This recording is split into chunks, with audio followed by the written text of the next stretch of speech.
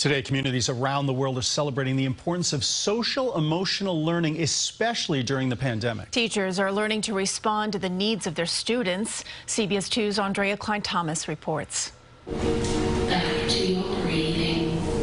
These pre-K students at PS 73 in the Bronx start their day with a five-minute meditation.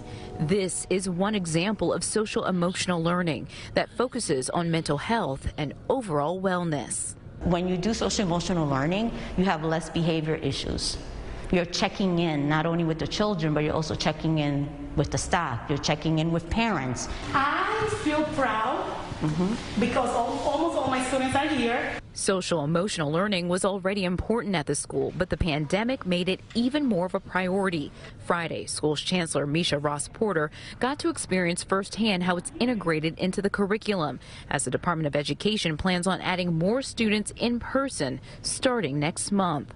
Folks have been disconnected socially, removed from schools, isolated, and so ensuring that we have mental health services and supports in place is going to be critical. One out of every 10 people in the Concourse Highbridge section have been diagnosed with COVID, and at one point, the unemployment rate in the Bronx topped 20 percent.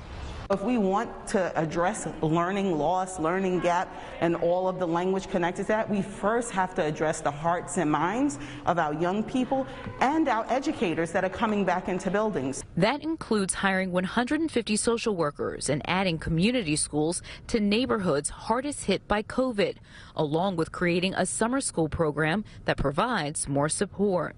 We don't know what the fallout of this pandemic is going to be. We're, we're in it. School leaders are navigating yes. uncharted territory after an unimaginable year, establishing a healthy foundation to make up for lost time.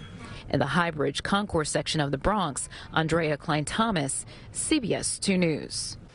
The principal says students learning remotely need more social emotional support than students who learn in the classroom, and those services are provided virtually.